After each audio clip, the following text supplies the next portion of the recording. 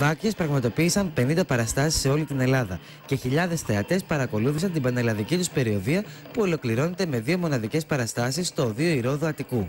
Χθες ήταν η πρώτη και σήμερα η δεύτερη. Στη χθεσινή παράσταση η κάμερα του Ευδής ήταν εκεί και κατέγραψε όλα όσα έγιναν. Τις κριτικές όλο το καλοκαίρι τις διαβάζατε, μπαίνατε σε όλη αυτή τη διαδικασία; Διαβάζω κάποιες κριτικές, ε, δεν διαβάζω κρίσεις. Έχει τεράστια διαφορά η κρίση, ειδικά τώρα που υπάρχει μπλογκόσφαιρα και όλα αυτά. Ο καθένας μπορεί να ανεβάσει και να πιστεύει ότι μπορεί να εκφέρει γνώμη παντός επιστητού. Ανυπόγραφη ή ανυπόγραφη, με ψευδόνυμο. Ε, Κρίσεις δεν διαβάζω. Ε, ούτε μπορώ να πω ότι ασχολούμαι. Ένας άνθρωπος που θα έρθει από κοντά να μου πει, ανεξάρτητος γνώσεων ή παιδείας, που μου πει συγχαρητήρια ή άμα δεν μ' άρεσε, αυτό ναι, γιατί τον βλέπω πρόσωπο-πρόσωπο και μπορεί να μου το τεκμηριώσει. Και στο καλοκαίρι νομίζω πως κερδίσατε το στοίχημα. Ε, δεν βάζω στοιχήματα, ξέρετε. Εγώ κάνω τη δουλειά μου. Τώρα άλλοι τα βλέπουν αυτά ως στοιχήματα, άλλοι δεν, δεν ασχολούμαι με γραφεία στοιχημάτων, ειδικά στην τέχνη καθόλου. Ε, αν εννοείται το στοίχημα ε, να ήταν η, η συμμετοχή του Σάκη του Ρουβά, δεν το θεωρώ καθόλου στοίχημα.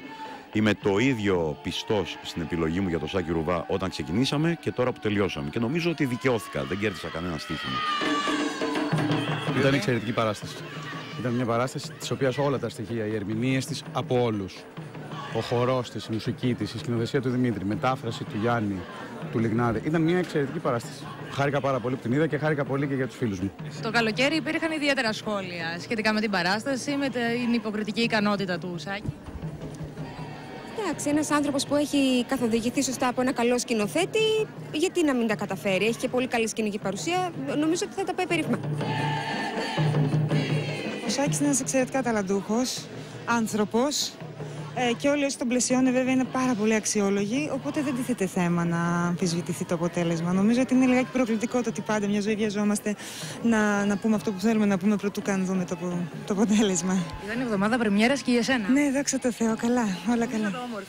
Όλα καλά, όλα καλά. Αλλά είναι πολύ νωρίς ακόμα. Πρέπει να μπουν όλοι οι αθλητές στο στίβο και μετά να το δούμε σιγά σιγά πώς θα εξελιχθεί. Είχε άγχος. Ναι, είχα πολύ. Κάθε χρόνο έχω, αλλά φέτος νομίζω μου φάνηκε και παραπάνω. Φέτος είδαμε και ανανεωμένη και εμφανισιακά και γενικότερα. Ευχαριστώ πολύ. Ελπίζω να σας αρέσει η αλλαγή. Από εσάς τι έχουμε να περιμένουμε; Επαγγελματικά ετοιμάζω πάρα πολλές συναυλίες το χειμώνα. Στο πρωινό θα σας δούμε. Μόνο συναυλίες το χειμώνα, παιδιά. Μόνο συναυλίες. Μόνο συναυλίες το χειμώνα.